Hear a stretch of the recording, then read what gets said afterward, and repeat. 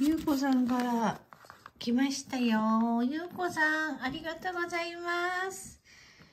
あーこれもね、ありがとうございます。じゃあ、開けてみたいと思います。ほら、こんなに入ってた。たくさん。京都限定のたけのこ。えー、美味しそう。あと、スイカの奈良漬け。うわー、すごい。おいしそう。そして、これは、京都限定販売。うわあ、美味しそうな。2種類の京漬物。風呂敷使うてはりますかだって。ねえ、すごい、あの、ね、ちゃんとしてる。うわー、紫のしば漬け。味すぐき。なんか高級なお漬物だね。うわー、すごい。あとこっちはエビ天せんべい。丸い緑。これクッキーだって。クッキー。えー、たくさん本当にありがとうございます。ゆうこさん。ゆうこさんありがとうございます。嬉しい。前にこんなのもね、いただいてたんですよ。どうぞ。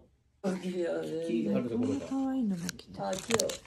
あれは上君車で待ってるよ。3人いるので。あそこ急ぐってて。あ、そういうの？はい。上君逃げたもんな。チョコとイチゴとバナナがありますけど、どれがいいですか？あ、すみません。いいですか？じゃあ、ここ、こっちの、これいいですか？いちご？はい、いちごで。はい、じゃあ、どれがいいですか？じゃあチョコで。チョコで。はい、ありはがとうございます。はい。これは何だの、あれだよな？甘党なんだよな。これはじゃあタイプにこ小。豚さんの格好してる。はあうん。味見てください。ねはい。いただきます。え、変わった。可愛らしい。あの、これ、タイピー日記で出てくるキャラクターが、おお、すごい。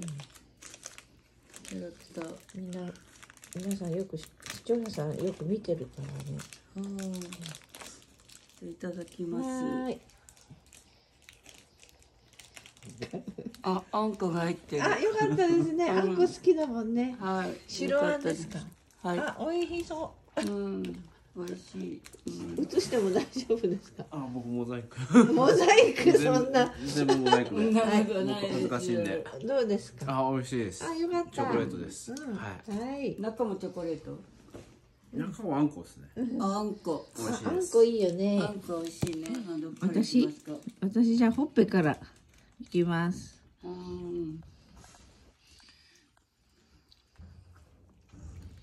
うん、あ、うん、うん。なんか。あんこだけど、これって和菓子の種類な美味し。いね。和菓子ですね、これね。そうだよな。ううんん。結構江戸時代からあったもんな、確か。うん、うん。和菓子だから。うん。